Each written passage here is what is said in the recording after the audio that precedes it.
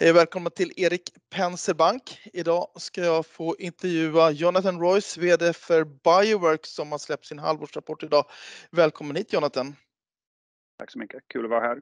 Ja, jag tänkte om du skulle kunna börja med att berätta lite hur utvecklingen har varit under det första halvåret och kanske också lite under andra kvartalet. Absolut. Ja, vi har haft en relativt stark tillväxt tycker jag jämfört med resten av branschen under det första halvåret. Vi har växt med 22 procent i en eh, marknad där det finns en något återhållen efterfrågan för råvaror som beror kanske en del för de stora leverantörer på att eh, företag håller på nu att eh, jämna ut sina lager på råvaror som de byggde ut Eh, under pandemin när det var lite mindre säkerhet i supplykedjan. Men Främst för Bioworks tror jag att en svagare kapitalmarknad har påverkat många av våra små och mellanstora kunder och gjort att de har eh, varit mer återhållsamma med sina investeringar, speciellt med klinisk tillverkning. Eh, men Vi har ändå växt med 22 procent. Det har växt i de marknader där vi har satsat mest i Europa och USA.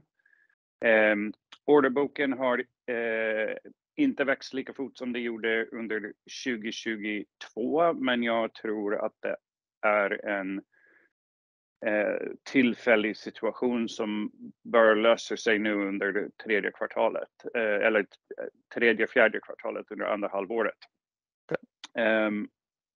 Jag ser att det börjar bli mer aktivitet hos våra kunder. Det känns som kapitalmarknaden börjar komma tillbaka. Eh, det har varit ett antal börsnoteringar i USA, eh, till exempel, som eh, man har sett en acceleration av börsnoteringar och också uppköp mellan bolag här i USA. Så Jag tror att marknaden kommer återhämta sig. Jag har varit med om sådana här tillfälliga, vad ska man säga, tillfälliga svaga perioder, men det alltid kommer tillbaka. Läkemedelsbranschen är rätt stabil och det gör ju oftast det bara en tidsfråga. Ja, för man upplever lite om man kollar från er verksamhetsuppdatering tills idag då och just på orderingången i Q2 som det ändå har varit lite tuffare kanske än vad du såg då. Hur känner du när ni är ute och träffar kunder? Är det återhållsamhet eller är det konkurrens som är stökigt? Alltså, jag tror att det är mest återhållsamhet. Sen Kan man säga att vi har ehm, haft en period där som eh, råvaror har varit svårt att få tag på för läkemedelsföretag. Eh, det har gjort att de har eh, behövt leta alternativleverantörer. Jag har sagt förut att det har varit en medvind för Bioworks. Eh, nu har man kommit tillbaka till ett mer normalt läge. Konkurrenterna har byggt ut sin kapacitet och efterfrågan på deras råvaror har också sjunkit, vilket gör att det finns betydligt mer kapacitet på marknaden helt enkelt. Ledtiden har kommit ned. Ehm, de kunder som vi vann under de senaste 2 år är våra kunder. Vi ser ingen tecken att de ska gå tillbaka till gamla leverantörer. Jag tycker att det ger oss en bättre position för framtiden. Vi har fler referenskunder, ett bra rykte på marknaden också för våra produkter. Visst, det finns en mindre fördelaktigt konkurrensplan för Bioworks just nu eftersom våra stora konkurrenter har återgått till mer normala ledtider. Kanske för att hålla oss kvar lite kring, du nämnde lite om kapitalmarknaden tidigare. Jag tänker på de kunder ni redan har och som ni gärna har velat växa med och sett fram för att ni ska liksom kunna skala upp successivt. Ser ni att de bromsas på något sätt utav finansieringsutmaningar? Jag tror att, och det tror jag vi har beskrivit en del i rapporten, att en viktig kundkategori för oss har varit kontraktstillverkare. De kontraktstillverkare som vi har haft den största framgången med har varit de som gör klinisk tillverkning oftast. De har inte reguljär produktion till ett annat läkemedelsbolag för en godkänd produkt, utan att de gör material som ska gå in i en klinisk prövning. Eh, och de har absolut eh, påverkats av en svagare kapitalmarknad, för det är ofta små och mellanstora bolag som inte har sina egna anläggningar som kommer att spendera pengar med en kontraktstillverkare, vilket i sin tur triggar order på företag som Bioworks. Um, så att eh, våra direkta kunder kanske har in, det inte varit de nödvändigtvis som har varit återhållsamma, men absolut kontaktstillverkare har haft en svagare orderbok under mm. första halvåret i år. Just det. Eh, en viktig satsning för att växa är ju era högförädlade produkter. Eh, mm. Där låter det som ni är ganska nöjda ändå med, med utvecklingen. Kan du berätta lite hur det går för exempelvis GoBio? Ja, det har varit en jättebra satsning med GoBio. Vi ser en jättestor, jättestort intresse från, från marknaden för prepackade kolonner. Eh, det har även öppnat dörrar för oss till kunder vi kanske inte hade kommit in tidigare för att just det formatet har varit nyckeln för dem att börja samarbeta med Bioworks. Eh, så vi, vi tycker att den satsningen varit helt rätt i tid. Eh, vi förväntar oss att den kommer fortsätta växa. Eh, vi har några nya projekt för den viktigaste kategorin av sådana produkter som heter GMP-kolonner där vi tar en, en till och med högre pris för ett utökat dokumentationspaket som kunderna behöver för att använda det i reglerad produktion. Um, eh, och även våra skräddarsydda produkter där vi faktiskt gör någon form av anpassning till eh, en kundspecifikation har växt stadigt under det här året och vi har Eh, ett tiotal projekt på gång nu som vi tror kan leda till större order under, den, under närmaste året. Just det, är det de i rapporten som ni anger då till att 10 eh, miljoner kronor eller eh, som skulle kunna komma in? Det stämmer. Just det. Eh, ni har också nämnt lite att ni har planer på att lansera en eh, genterapi och oligonukleotid eh. Hur, eh, hur utvecklas det?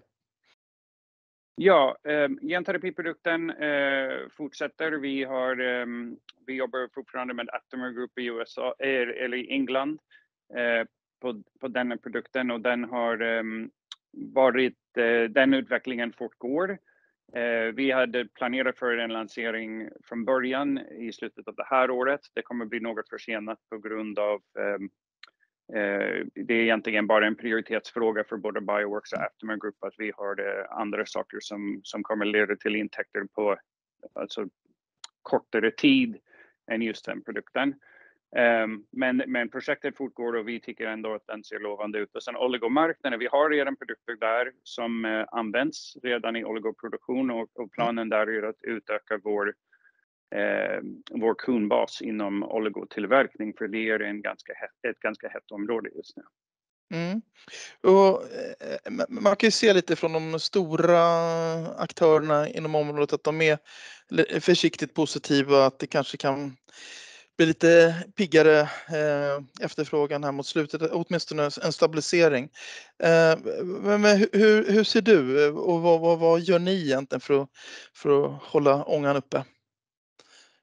Ja, alltså jag, jag sa i början här, jag har varit med om sådana perioder förut och de brukar vara relativt kortvariga om man jämför kanske med andra branscher där man, man kan ha en liten nedgång ibland. Ehm, läkemedelsbranschen är väldigt stabil. Eh, patienter behöver alltid läkemedel och investeringar i nya behandlingar ehm, kommer fortsätta så att Eh, för, för oss tycker jag det är bara fortsätter det vi är bra på, vilket är att knyta oss starkt till kunder, ehm, se till att vi ger jättebra kundservice så att eh, kunder blir extremt nöjda med Bioworks, tycker att vi ger bra teknisk support men även kundsupport i form av bra leveranser och svar på alla dess, deras frågor.